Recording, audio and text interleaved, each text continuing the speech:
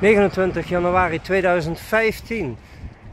Dit is buiten Maasmechelen richting Stijn, gefilmd met de Nokia PureView. Vanaf de Westwind Herenfiets.